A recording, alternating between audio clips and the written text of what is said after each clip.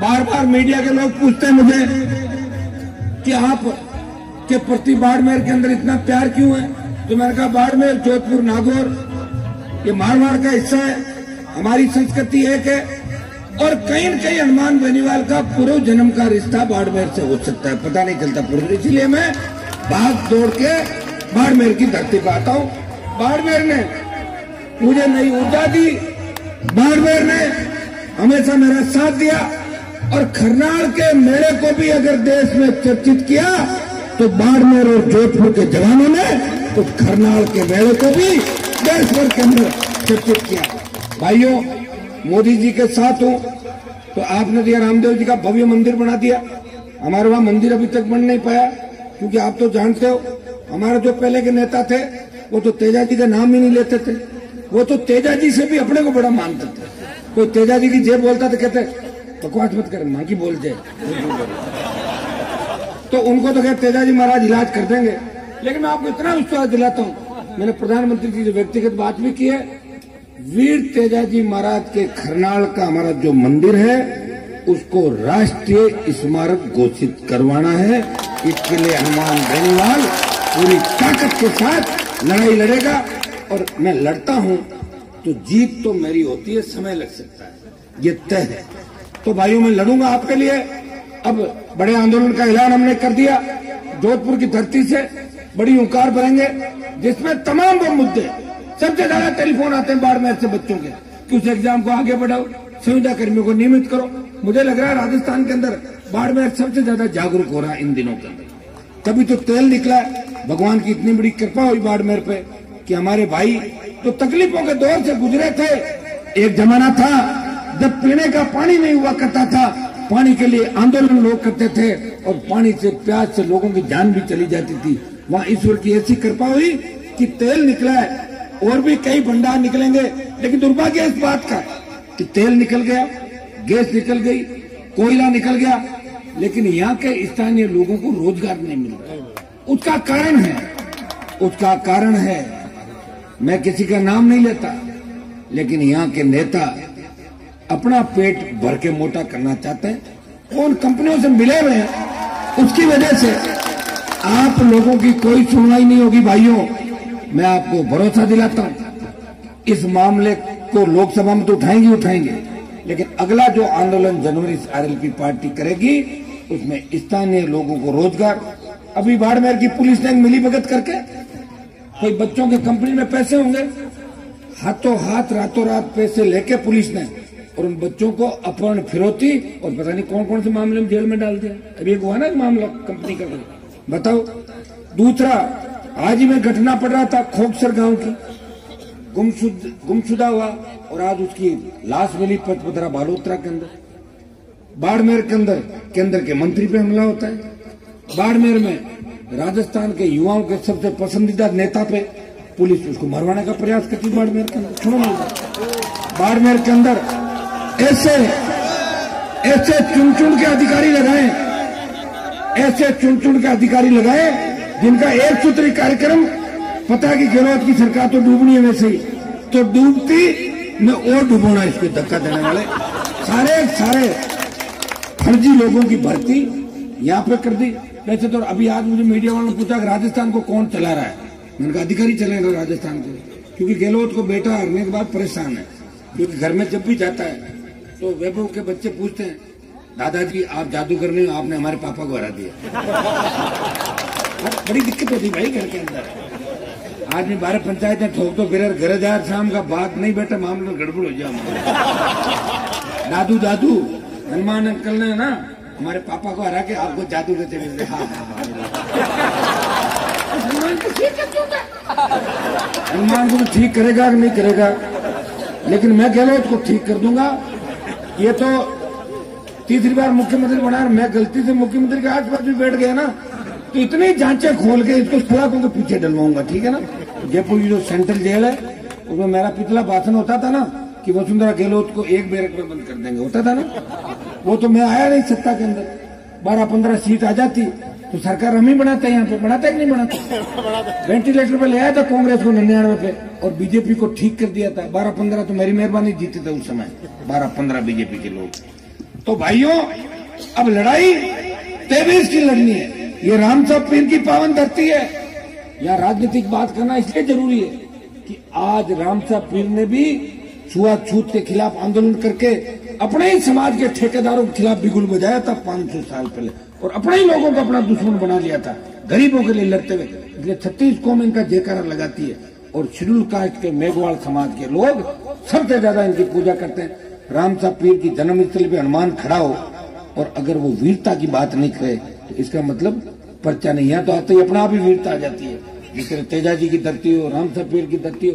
तो भाइयों, मैं यहाँ राजनीतिक बात नहीं करके इतना ही आह्वान करता हूँ कि मैं मैं कोई, अगर मैं बात तुझे फार्म भर देता फिर? फिर हरीश जी कहाँ हो जाते तीसरे नंबर पर जाते। मैंने तो उनकी कितनी बड़ी मदद की। मेरी मदद की वजह से तो मंत्री बैठे हैं।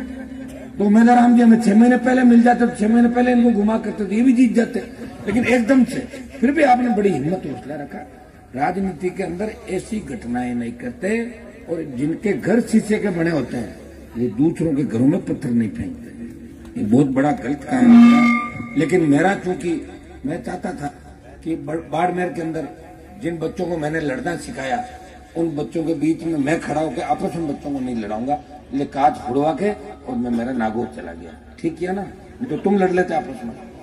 तो तुम और लड़ाई का ठीक रहा मेरे पे फूटता, सब कहते हनुमान ने लड़ा दिया। क्योंकि वैसे जो बोखलाए हुए नेता है ना, चले हुए कारतूस राजस्थान के। सारे सारे चले हुए कारतूस पिछहत्तर पार, अस्सी पार। कोई पागल होने वाला है? कोई आधा हो चुका। सारे सारे एक जगह कि हनुमान को रोकना। अरे हनुमान को मत रोको। तुम्हारे में हिम्मत है? तो जाट मुख्यमंत्री बनना थे राजस्थान के तुम्हें रोका था क्या किसी ने चार साल? तलवे चाटते थे। कोई गहलोत के तलवे चाटता था। वो ठीक नहीं होता। दूसरे के जाके चाट लेता। कोई वसुंधरा के चाटता, कोई तीसरी जगह चाटता। तुम तो काम ही किया राजस्थान के लोग मेरी तरह खुद की पार्टी बना के लड़े क्या खुद? चैलेंज दे के लड़ा हूँ। और जिसको चैलेंज दिया उसको भगाया है। सरकार ने खूब जाँच करा ली हनुमान की। कुछ नहीं मिला। पंद्रह रुपए मिले थे बैंक के खाते के अंदर। पंद्रह रुपए के अंदर सजा नहीं होती। इसलिए भाइयों सरकारों से लड़ रहा हूँ। और इसलिए प्रधानमंत्री जी मुझे पसंद करते हैं। ये भी तकलीफ़ है लोगों को कि मोदी जी हनुमान से बार बार क्यों मिलते हैं? तो बढ़िया ना, मोदी जी मिलेंगे तो कुछ न कुछ ले पड़ूँगा राजस्थान के कोई बड़ा धमाका करेंगे। अब देखो, ट्रेन का मेरा टाइम भी हो रहा है। और मेरा मन तो और ज़्यादा लंबा थोड़ा भाषण देने का है। क्योंकि बाहर मेरे सुनो मेरी बात। मुझे सुबह लोकसभा में जाना है। लोकसभा में तो मुझे देखोगे ना आप। कल कौन सा मुद्दा आ जाए कब आ जाए? भाइयों ये बाड़मेर वीरों की धरती है। यहाँ कई शहीद हुए हमारे चाहे कारगिल की लड़ाई हो चाहे दूसरी लड़ाई हो और हर जगह शहीदों की प्रतिमाएँ जगह जगह गाँव के अंदर दिखाई दे रही है। ये वीर भूमि है। अभी हमारे बाछड़ाओं के शहीद पीराराम जी थोरी जिन्होंने भारत माता के लड़ते हुए अपने प्राण न्यौछावर कर दिए। आज मेरा जाने का कार्यक्रम था, लेकिन कार्यक्रम वहाँ बन नहीं पाता। इसलिए अगला दौरा बाड़मेर के अंदर सड़क मार्ग से, वाया बायतू के अंदर अंदर से फिर बाछड़ाऊ जाऊँगा, फिर जालोर जाऊँगा, फिर मैं पाली का दौरा करूँगा। पंचायत चुनाव आ गए ना तो पंचायत चुनाव लड़ने कि नहीं लड़ने? और अगर कोई गठबंधन में होता हो तो कर लें क्या? मान लो मान लो बेरड साहब वाली पार्टी को तैयार हो जाए तो कर लेना गठबंधन। और नहीं हो तो मतलब पंचायत चुनाव तो लड़ना ही तय है ना। देखो लग, तुम लोग तैयार हो मैं तो तैयार ही रहता हूँ टाइम लेकिन एक काम करना कि खुद ही कैंडिडेट होकर एक एक गाँव में पाँच पाँच खड़े मत हो जाना नहीं तो तेबीस का मिशन पूरा नहीं होगा इस चीज़ का ध्यान रखना। तो चार दुश्मन हो जाओगे मेरे एक साथ रह जाएगा। सारा अगर पंचायत चुनाव का ऐलान हो जाए, उसके बाद आपस में बातचीत करके, अभी एक बहुत बड़ी डिमांड बार बार आ रही है। अब तुम मेरी मजबूरियाँ नहीं समझते। तुम हर आज या तो हनुमान जी अभी तक कार्यकारिणी का विस्तार क्यों नहीं कर रहे? भाइयों, जल्दी अगले पाँच सात दिन के अंदर अपनी प्रदेश की टीम का आरएलपी टीम का ऐलान कर देंगे और प्रत्येक ज़िले के जिला अध्यक्षों की घोषणा उसी दिन एक साथ ही कर देंगे सारी राजस्थान के अंदर। और वो फिर अपने आप आपसे बातचीत भी करेंगे। सबको मना के कोई पंचायत समिति में शेड नहीं हो रहा तो जिला परिषद में करेंगे, वहाँ कोई सरपंच जाएगा इस तरह आपको भी तैयार रहना है। नहीं तो फिर पंचायत चुनाव नहीं लड़ाऊँगा मैं। क्योंकि मैं छात्र संघों के चुनाव इसलिए नहीं लड़ाता, क्योंकि सारे सारे छात्र थे एन से, चाहे एबीपी से, चाहे निर्दलीय, वो हनुमान का छोटा भाई है, इसलिए मैं आरएलपी अंदर नहीं घुसा था। तो अब आपको इस चीज़ का ध्यान रखना है। पंचायत चुनाव से हमें तेबीस का नुकसान नहीं होना चाहिए। इस बात का ध्यान रखना है। तेबीस हमारा टारगेट है। एक बात सुनो टारगेट में ज़ोर बहुत आता है, मेरी भी उम्र बढ़ रही है धीरे धीरे। पिछली बार इकतालीस था, छियालीस हो गया। तेईस में कुछ नहीं हुआ तो मामला फिर ऐसे जाएगा नहीं साठ तक। इसलिए तेईस में तो सत्ता को लेना ही है, चाहे कुछ भी करना पड़े। वैसे आप लोग और उदय राम जी वाले लोग अगर आ जाए राजस्थान में तो तो मेरे हिसाब से एक सौ बीस सीट जाए और फिर हमारे मेयर साहब बैठे। इन वाली टीम अगर आ जाए तो तो कहने की आवश्यकता ने बना हुआ ये मोर्चा। अब इनकी लीडरशिप ये कह सकते हमारे लोग तो तैयार है राजस्थान।